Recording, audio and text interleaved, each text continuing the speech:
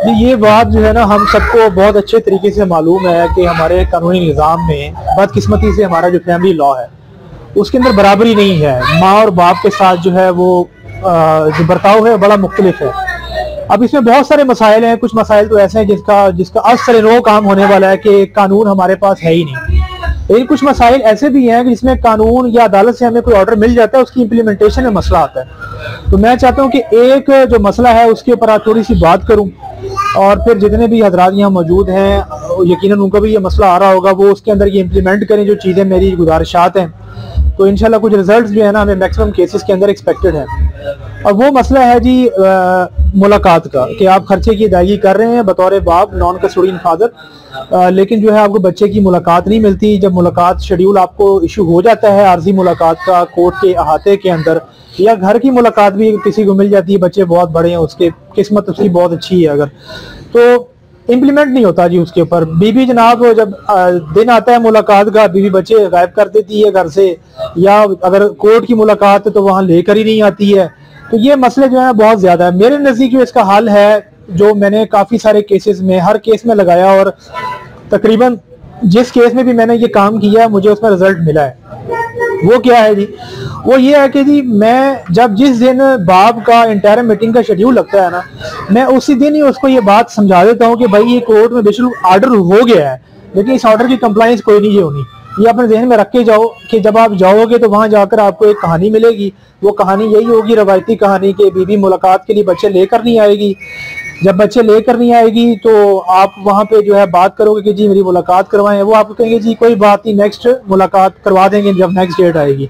और उस दिन की मीटिंग की जो है, वो खाई जाएगी और आपसे कहा जाएगा, जी, खर्चा दे दें। क्योंकि खर्चा अगर नहीं देंगे तो आपको बड़ा जो है, बड़ी सख्ती के साथ आपके साथ पूछ होगी।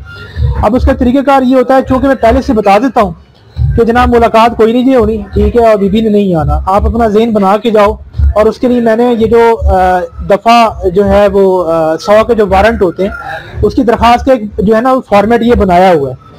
और ये फॉर्मेट जो है वो मैंने इसलिए बनाया हुआ है कि जो वन पेज फॉर्मेट है कि हर बाब को मैं थमा देता हूँ कि ये फॉर्मेट आप ले जाएँ अपने साथ। अगर बीबी जो है वो मुलाकात आपकी नहीं करवाती है तो आप बस इसके ऊपर नाम जो भी है, जो स्केजुअल की डेट है, बच्चे का नाम वगैरह डालें बयान अल्फी को जो है वो पुर करें और ओथ कमिश्नर की स्टैंप लगवा के, तस्दीक करवा के वहाँ टिकटें लगाएँ। टिकटें लगाने के बाद इसके ऊपर आप साथ ही दरख्वास्त को थमा दें। और बस ख्याल ये रखना है आपने कि जब आपने कोर्ट में ये दरख्वास्त देनी है तो ये दरख्वास्त जो है बिल्कुल इसकी सेपरेट फ़ाइल होनी चाहिए। क्योंकि अगर आपने अपने उसी पेंडिंग केस के अंदर दे दी तो वो फिर आपके केस को लिंगर ऑन करने का बायस बनेगी, कोई दरखास्त में जवाब आएगा, अगला, अगली पार्टी जवाब देगी, फिर उस पर कोई फैसला होगा तो अगला मेन केस भी आपका रुका रहेगा इस वजह से।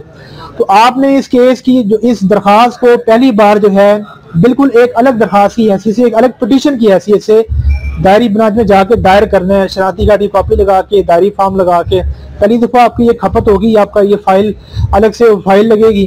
तो आपकी एक न्यू फ़ाइल जो है वो क्रिएट होगी और वो क्या है दफ़ा सो के वारंट की। आपने क्योंकि आई नहीं भी, भी मुलाकात के लिए उसने अदालत की हुकूमत की लिहाजा दफ़ा सौ के वारंट उसके खिलाफ निकाले जाए। पहली जब आप देंगे दरखास्त इस तरीके से उसका कोई रिस्पॉन्स कोई नहीं होगा, बट ठीक है जी, दायर हो गई है।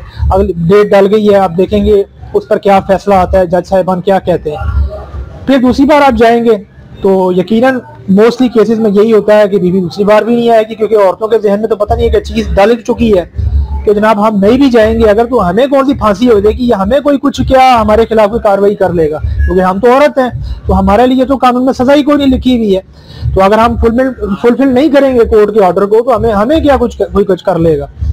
तो अब दूसरी दरखास्त पे जब दूसरे दिन आप जाते हैं तो स्केजूल के मुताबिक पहुँच जाएँ। वहाँ पर पहुँच गए, और पहुँचने के बाद भी आप वेट करें कि आपके स्केजूल के मुताबिक टाइम पीरियड में बीवी बच्चे लेकर नहीं आई और आज भी मुलाकात नहीं हुई। तो आप फौरी तौर पर दोबारा इसी तरह दरखास्त जो कि आपने उसी असना में तैयार की होगी क्योंकि आपको आइडिया हो जाएगा कि बीबी ने आज भी आना है या नहीं आना। आप जनाब उधर पेश हो जाएँ जज साहब के पास, उनको ये दरखास्त भी दें। उनसे कहें कि मैं तो खर्चा भी लेकर आया हूँ, खर्चा देने के लिए मैं तैयार हूँ। तो खर्चा मुझसे ले लें बीबी को बुलवाएँ और खर्चा ले लें। अब चूँकि बीबी नहीं आ रही, आप खर्चा देने के लिए बिलिंग है तो आपने तो बात वही करनी थी मैं खर्चा देने को तैयार हूँ, बीबी को बुलाएँ, बच्चे बुलवाएँ तो मुलाकात भी हो जाए, मैं खर्चा भी देता हूँ। अब बीबी अगर नहीं आ रही तो आप खर्चा भी रोकें उस दिन का, खर्चा भी ना दें। कोई मसला नहीं, बता दो तीन, आप स्किप अगर करते हैं, बीबी नहीं आ रही वहाँ पर, बीबी गैर हाजिर है, आपको क्या ज़रूरत है? आप बेवकूफों की तरह जाके पैसे एडवांस से पकड़ा देते हैं। आदतें खराब कर रहे हैं बीबी की, वो उसको क्या फ़िक्र है? खर्चा उसको पहुँच जाता है। तो अब जब आप ये काम करते हैं ना तो आप ज़ाहिर सी बात है, जज साहिबान को पता चल जाता है कि बंदा आया है, हाजिर है, पैसे देने के लिए विलिंग है। बीबी नहीं आई मुलाकात करवाने के लिए। तो ज़ाहिर सी बात है, बीबी आएगी तो आर्जी खर्चा उसके हाथ में देगा ना। जब बीबी है ही नहीं यहाँ पर, और दरखास्त आपने देकर आपने एक सबूत जनरेट कर दिया कि जी इस दरखास्त, इस दिन बीबी गैर हाजिरी थी, जो उसकी गैर हाजिरी का सबूत भी है। ये आपकी फ़ाइल बन रही अब दूसरी दरखास्त जो आपने देनी है, आप रीडर से कहना है, जी जो फ़ाइल मेरी चल रही है ऑलरेडी जिसके अंदर मैंने ये पहले भी दफ़ा सौ के वर्ड की दरखास्त दी थी, उसी के फ़ाइल के अंदर ये भी लगा दो। अब आप दो दफ़ा करेंगे, तीन दफ़ा करेंगे तो एट दी एंड इतना प्रेशर क्रिएट हो जाता है कि मोस्टली केसेस में बीबी मजबूर हो जाती है बच्चा लेकर आने में, क्योंकि उसका एक रिकॉर्ड बन रहा है। अब कल को कोई मुकर भी नहीं सकता कि जनाब, मैं फलानी तरीके तो आई थी, मैंने फलानी मुलाकात तो करवाई थी, क्योंकि आपकी हर गैर हाजिरी के अगेंस्ट एक दरखास्त है जो फ़ाइल में लगी हुई है। और दूसरा इसका फ़ायदा ये हो रहा है कि अब आप जब नेक्स्ट डेटों पे जा रहे हैं तो जज साहिबान से आप खास तौर पर पूछेंगे जो मेरी दरखास्त है उनको फैसला दें। कुछ नहीं हो सकता, बीबी के खिलाफ कार्रवाई नहीं हो सकती तो कम अज कम मुझे अल्टरनेट मीटिंग तो दे, ये तो मेरा राइट है। और अगर वहाँ से भी आपको अल्टरनेट मीटिंग नहीं मिलती या उसको लिंगर ऑन किया जाता है, उसका फैसला नहीं हो रहा तो कम अज कम एक पूरी फ़ाइल आपके पास मौजूद है रिकॉर्ड आपके पास मौजूद है। आप किसी और फोरम पे भी जाके बात कर सकते हैं। कि जनाब, इनसे तो ऑर्डर की कंप्लाइंस ही नहीं हो रही है। वो दफ़ा सौ के वारंट जितने दिए हैं, जितनी गैर हाजिरी है गिन लें आप और इतनी गैर हाजिरियों की मुझे ऑल्टरनेट मीटिंग लेनी चाहिए। मेरा हक है। मैं जब खर्चा लेके हर बार आया होता हूँ। अब क्या होगा कि जब तीन चार पेशियों के बाद जब बीबी मजबूर हो जाएगी तो उसकी कोशिश होगी कि वो शॉर्ट टाइम के लिए आए। ठीक है। अब आपने वहाँ नया फल डाल देना है। वो क्या है जी? कि बीबी का टाइम नोट करो जी। बीबी कब आई? जैसा इसे आप रिक्वेस्ट करें जैसा आपके ये आज लेट आए हैं आज ठीक है इनका ये आ, मेरा टाइम जो है वो दो घंटे की मुलाकात थी ये तो एक घंटा ज़ाया कर आए हैं। तो बर मेहरबानी आइंदा से इनको पाबंद करें रीडर साहब को कि इनका टाइम भी नोट किया करें टाइम तो जब आप इस तरह की हरकतें शुरू कर देते हैं ना तो वहाँ पर प्रेशर जो है बिल्ड अप होना शुरू हो जाता है बीबी के ऊपर। अब ज़ाहिर सी बात है इसको रियायत अगर कोई देगा भी वहाँ पर कोई सिस्टम में बचाने की कोशिश करेगा भी तो वो ऐसे तो मुफ़्त में तो फेवर नहीं देगा उसको। मेरे ख्याल मेरी बात आप समझ रहे हैं सारे। तो ये सारी जब प्रेशर आप क्रिएट करेंगे तो अब मैंने 95 परसेंट केसेस में ये बीबी प्रोड्यूस होगी। मैंने तो जितने केसेस में ये लगाया है पाकिस्तान भर में, उन तमाम केसेस में 100 परसेंट केसेस में ये फार्मूला ये जुगाड़ जो है वो कामयाब रहा है बेबी बच्चे प्रोड्यूस करती है। और तीसरी बड़ी इंटरेस्टिंग बात कि अब आपका रह गया खर्चा उधार। अब तीसरी मुलाकात जब बीबी आएगी तो उसका वकील शोर डालेगा सबसे पहले आके कि जनाब ये खर्चा क्लियर करें।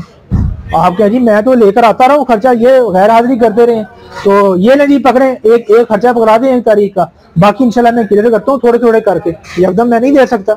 तो मैं तो इनका इंतज़ार करता रहा हूँ। वो रोला डालेंगे जी, मुलाकात नहीं हो सकती है। आप कहें जज के सामने पेश करो जज साहब ऑर्डर करते हैं कि मुलाकात नहीं हो सकती है। तो वो जब ऐसी जब आप अड़ी लगाएँगे वहाँ पर तो अगले मजबूर हो जाएँगे। वकील की, हर तरह की मुखालफत के बावजूद मुखालिफ पार्टी की, फिर उसकी बीबी लानी पड़ेगी। क्योंकि उसने कोई पैसे तो लेने हैं ना आपसे। आज अगर फिर वो मुलाकात नहीं करवा रहा तो फिर वही मसला उसके लिए। कि वो पैसे जो आप देने गए थे, वो फिर नहीं दिए आपने। और अब आपने वहाँ पे एक नया काम शुरू कर दिया, आपने उधार लगाना शुरू कर दिए पैसे का।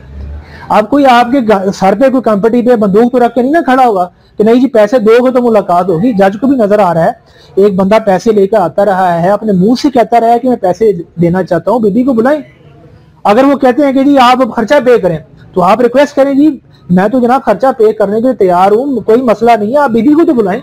बीबी मुलाकात करवाए, मैं खर्चा देता हूँ। मैं ज़्यादा राह के पैसे भी देता हूँ जो आपने ऑर्डर में लिखे हुए जो मुलाकात का खर्चा डाला हुआ है मेरे ऊपर। तो आप जब इस तरह का सिस्टम जब चलना शुरू हो जाएगा, सबको हर चीज़ नज़र आ रही है। और एक बात याद रखें कि ये कागज़ जो है ना, सरकारी रिकॉर्ड में कुछ ना कुछ इम्पैक्ट तो रखते हैं। हर बंदे को पता है कि यार ये जो दरखास्तें हर डेट पे ये लेके आता है। कल को ये हाईकोर्ट चला जाता है रेट करने के लिए। वहाँ पर नेग्लिजेंस किसकी आ रही है साबित? कि बार बार दरखास्तें आ रही हैं, उस पर फैसला ही नहीं हो रहा। तो आप चलो कम अज कम कुछ नहीं सही डायरेक्शन ही ले आओगे तो जनाब इस सूद पर फैसला करें। ये जो छह दरखास्तें, पाँच दरखास्तें यहाँ पर फ़ाइल में कटी हो चुकी हैं गैर हाजिरी की, इसकी एटलीस्ट ऑल्टरनेट मीटिंग्स तो मिले।